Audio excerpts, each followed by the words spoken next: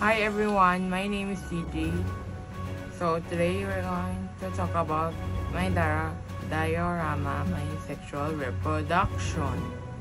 This is the male reproductive system. This is the female reproductive system.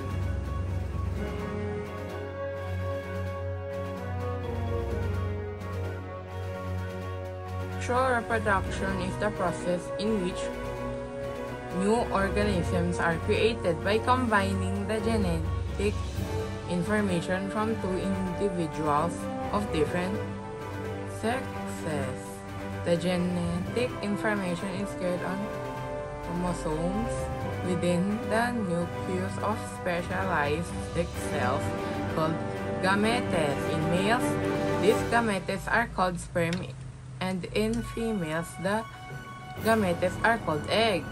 During sexual reproduction, the two gametes join together in a fusion process known as fertilization to create a zygote, which is the precursor to an embryo offspring, taking half of its DNA from each of its parents.